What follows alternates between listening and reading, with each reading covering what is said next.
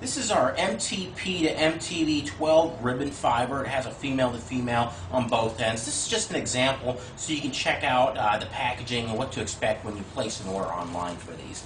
Now, they are individually packaged and what else is also included is the test results. This is a 62 uh, micron plenum jumper. They're also available in many different lengths, also in a 50 micron, a single mode, and um, made right here in the United States. And you can pretty much uh, get these cables made any way you want. If something's on our website not the way you want it, then you can go ahead and give us a shout.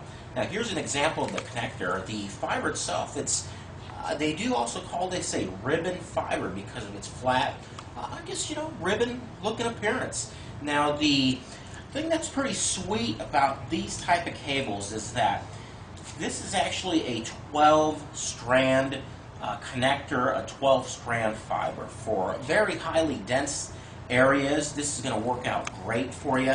And also with the adds, moves, and changes, for example, in those uh, fiber cassette boxes and data centers. It's uh, a really nice, uh, very nice uh, product. It just saves a lot of space. Now, let me go ahead and pop open a two-strand older style zip cord fiber jumper.